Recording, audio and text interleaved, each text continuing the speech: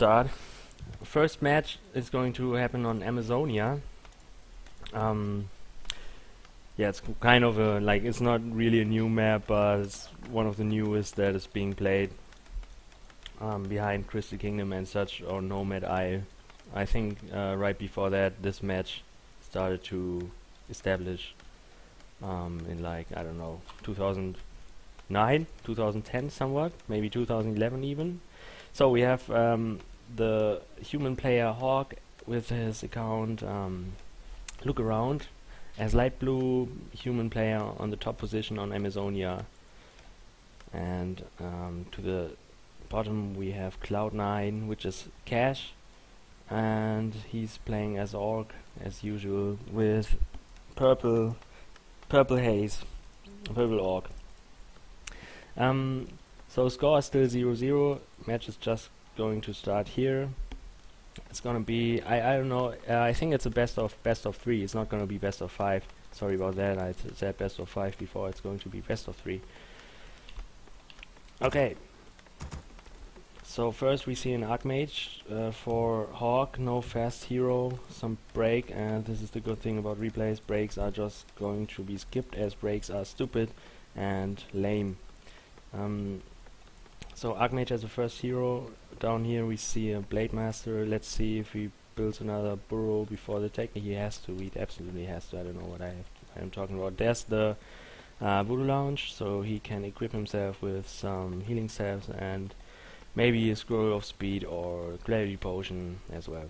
Let's see what he's going to try uh, to do with his Blade Master in the early early phase. Um, what is he going to creep first? He? Yeah, he's going for the Renegade Wizard. Gets a purge, and there's the first footman which the human player doesn't need for his creep spot on the top side of the map. He's going to find claws of attack plus six, um, which is a good item still. Um, doesn't really matter for a human player, but yeah, makes makes a little bit of difference if you playing uh, if you're playing um, bit more pressure style, and yeah, grunts fall more easily, but with 700 hit points, it's unlikely that it happens anyways. Um, so the rogue is going to be killed. Yeah, and now let's see. No, he, um, yeah, interrupts his creeping and walks to the shop. Let's see what he's doing next. Human player also reached level two. Found uh, found gaunt- gauntlet strength, gauntlet, gauntlets of ogre strength. Tier 2 tag on the way for both players human player bit faster and and he uh, tagged with 24 supply. Now that both players um, meet each other in the middle of the map. As the flying sheep. Always fun to be around. To have it around. Mm. yeah so let's see how this match is going to go on. Both players are trying to um, get boots, as it seems. Archmage gets them first, but Cash knows what's happening, and he's going to get um, boots as well, and no staff of teleportation. Uh, human player is now in the base of the orc, but this is just little. Um, yeah, I don't know what even what I what what I'm what I should say about this. It's not really um, important, I guess.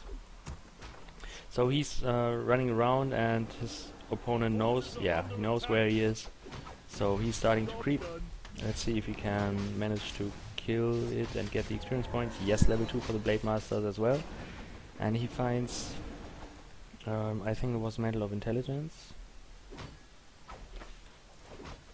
Our forces are but I didn't really pay attention. Um, yeah, he gets a footman as well, and in the main base of the human player, we will soon see some arcane sanctums, whereas the orc player still has to um, wait for his time to be able to tag uh, to build tier two tag um, buildings. Oh wow! Killed his own grunt with a burrow. That was a good move. And now uh, seems like um, Hawk gets a little bit over over eager, but ogre eager, yeah. Mm. I hope um, yeah, that he gets away there with his footman, but we never know. Who knows? No, not against this one. And he dies. Fucking footman dies. So, Mountain King and two Arcane Sanctums on the way. Hawk is a bit um, slow with his second one, but his first one is finished soon, and we see that there's going to be a Bestiary first and a Spirit Lodge for cash. This is going to take a while, because his tech was a bit slower.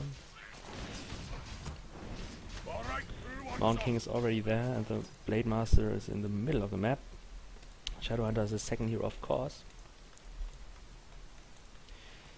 Mm, yeah. So now the human player can um, pressure a bit or creep in a um, self-conscious way. Like he doesn't really have to worry about creep checks at the moment. Because he's not gonna take much damage, but he, of course the Blade Master can still... no. But he stole the uh, sentry wards, this is still very good. He doesn't um, have to worry about his opponent having sentry wards somewhere and the blader gets caught without him knowing about it. Ah, wow. So he must have clicked on the Blade Master right when he um, when he used the sentry wards, or this is just a common spot to put a sentry ward too. First casters are there, and there's a Sasquatch. One second. I was really... Wait, wait a second, please.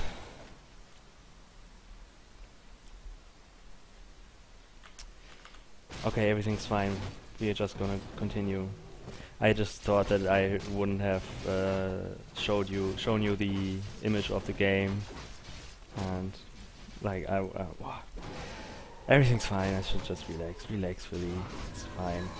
Level 3 Archmage and almost level 2 Mountain King already. And the uh, Shadowhunter will reach level 2 as well. The Blade Master didn't really, uh, wasn't really able to harass on this creep uh, spot. And we will see, kind of quick um, adept training. He's only on 41 supply. Um, adept training is also awesome not only because of the invisible but also because uh, extra energy. So we will boost I think 50 energy afterwards.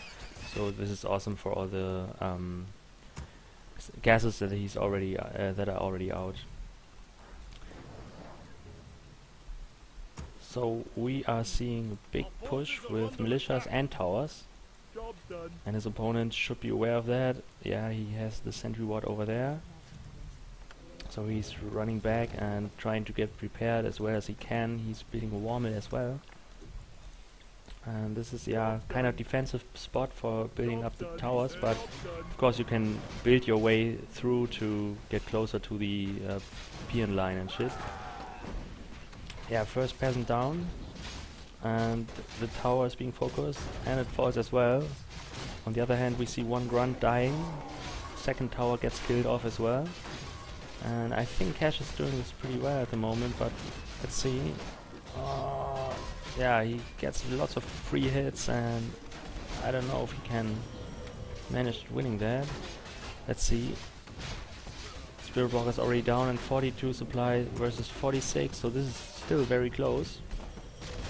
Next two grunts are really low, one of them falls, second one goes down as well, and The Mountain King, yeah, there's there's two Mountain Kings, like one of them is an illusion. I don't know why it's not blue. Oh, and now there's a big throw on the Shadow Hunter, and uh, no units left for the Orc player. Shito Vashi, best chance of GG. Couldn't agree more. Well played from Hawk. Uh, kind of classic human versus Orc game. I don't know what Cash should have done better level 3 Blade Master would have been decent and um, his tier 2 take was kinda late. Um, yeah, what else? I don't know. Hmm. Tier 2 take late, second hero late, no level 3 Shadow Hunter. mm, should have maybe interrupted his opponent just running there, trying to delay the tower push. I think that would have been good as well. Having an earlier War Mill would have been awesome for building towers and um, demolishers. And uh, yeah, all in all, also like better uh, creeps, um, creep jacks. So yeah, now the